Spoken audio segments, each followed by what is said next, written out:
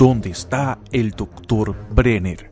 Aparecerá en la cuarta temporada de Stranger Things. La popular serie de televisión de Stranger Things está llena de misterios, siendo eso una de las cosas que la hace tan interesante. Y aunque en el transcurso de la tercera temporada le han dado un poco de luz a algunos temas, y además del mundo al revés, todavía hay muchas preguntas que se tienen relacionadas a elementos de la serie. Una de esas preguntas es, ¿qué realmente pasó con el Dr. Brenner?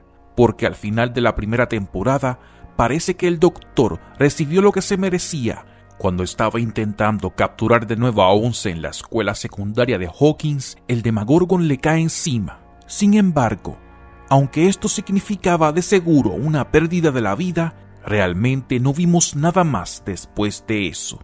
Y como sabemos que es la regla en los materiales de ficción como los cómics, si no se ve como alguien realmente perdió la vida en una escena, las posibilidades son que realmente no lo haya hecho, como nos han demostrado recientemente que pasó en el caso de Hopper. Pero más aún, cuando en la segunda temporada cuando Once estaba a punto de acabar con la vida de un ex empleado del laboratorio de Hawkins, él le dice que Brenner todavía estaba vivo y que él la podía ayudar a encontrarlo, porque él sabía dónde estaba. ¿Habrá sido cierto eso? ¿Realmente ese empleado sabía dónde estaba Brenner y qué estaba haciendo? Hay muchas razones para pensar que él verdaderamente estaba diciendo la verdad.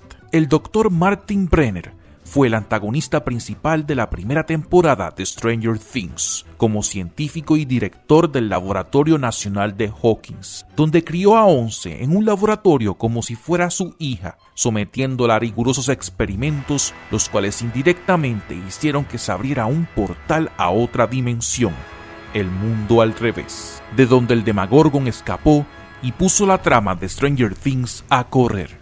Una de las posibles teorías que explica cómo el doctor puede estar vivo es que él esté en ese mundo al revés. Esto puede sonar un poco extraño, ya que la última vez que lo vimos estaba siendo atacado por el Demogorgon, pero si lo analizamos bien, el Demogorgon en Stranger Things actúa de maneras misteriosas, y el hecho de que se le haya visto atacar a Brenner no necesariamente significa que acabó con él, porque si recordamos, en el inicio de la primera temporada, el Demogorgon también parecía que iba a acabar con Will, sin embargo, no lo hirió, y más bien Will terminó en el mundo al revés, probablemente llevado ahí por el mismo Demogorgon. ¿Por qué razón el Demogorgon pudo haber llevado a Brenner al mundo al revés? Bueno, hay varias posibilidades.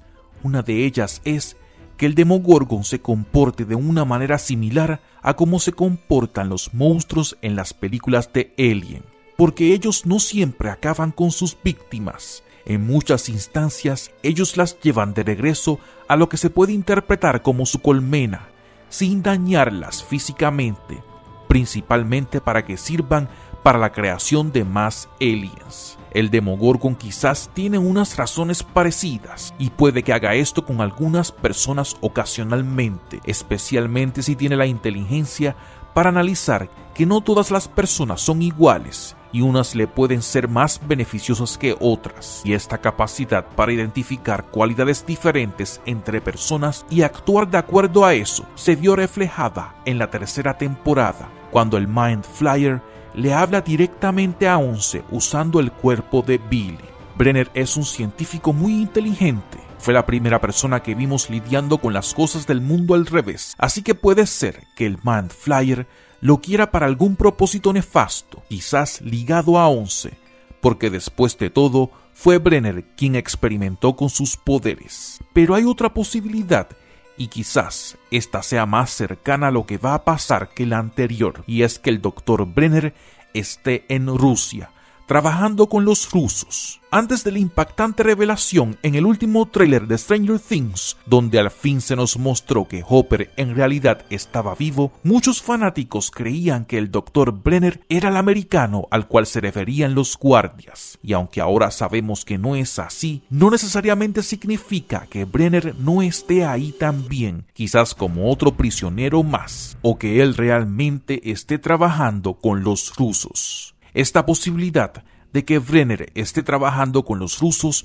hace bastante sentido y ayudaría a explicar varias cosas, como por ejemplo, quizás la aparición de Brenner en la próxima temporada de Stranger Things puede explicar el por qué Hopper está en la prisión con los rusos, porque quizás Brenner se los ordenó, porque él lo conocía y quizás lo quiere para un propósito en específico, porque siendo Hopper el padre adoptivo de Once, quizás Brenner puede usar a Hopper para traer a Once a él cuando ella inevitablemente vaya en su búsqueda. También de que la razón por la que Hopper está vivo es porque saltó por el portal al mundo al revés para salvarse de la explosión de la máquina al final de la tercera temporada, pudo haber sido Brenner también quien lo ayudó y lo salvó en esos momentos. Porque de nuevo no vimos qué exactamente pasó en esos momentos. Y los rusos también tiene razones para estar trabajando con Brenner, ya que él es un científico muy inteligente y los rusos quizás lo quieren mantener vivo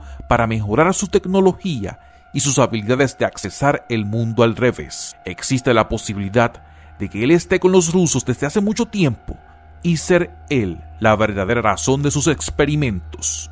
O quizás lo quieren a él para crear su propia once o capturarla para usarla para sus propósitos. La reaparición de Brenner también puede hacer sentido para la trama de la serie, porque también puede ser él el causante del regreso de los poderes de Once, porque en la segunda temporada vimos como Once, con tan solo ver una proyección de él, fue suficiente para activar una fuerte reacción en sus poderes, y aunque Once no los pudo recuperar en el final de la tercera temporada, a pesar de estar pasando por momentos difíciles, un encuentro con Brenner puede ser el detonante que realmente necesita, porque aunque la pérdida de Hopper y su deseo de encontrarlo son emociones fuertes, los recuerdos de su tiempo con su papa, Brenner, son verdaderamente traumáticos, pueden despertar en ella esos momentos donde él la estaba empujando a que explotara. Así que gracias a él los poderes de Once pueden regresar, pero aún más poderosos que antes. Pero además de estas razones que hacen sentido para la aparición de nuevo del Dr. Brenner en la cuarta temporada de Stranger Things, hay otras pistas más específicas que apuntan a que él todavía está con vida y va a tener un reencuentro con Once. Ya hablé del momento donde el ex empleado de los laboratorios en Hawkins le dice a Once que él estaba vivo, pero también en la visión que Once tuvo con él en la segunda temporada, Brenner le pregunta a Once que por qué no lo había buscado en todo este tiempo que si era porque ella pensaba que él había perdido la vida o si era porque tenía miedo de lo que podía encontrar.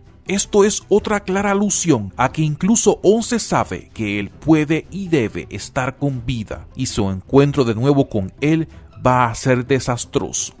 Pero también en una entrevista con Collider, el productor ejecutivo y director de Stranger Things, Sean Levy, mencionó que lo que le dijo el ex empleado del laboratorio a Once no había sido una mentira únicamente para salvar su vida. Y el co-creador de la serie, Matt Duffer, dijo después del estreno de la primera temporada que si fueran a quitarle la vida a Brenner como un miembro de la audiencia, eso sería muy decepcionante para él.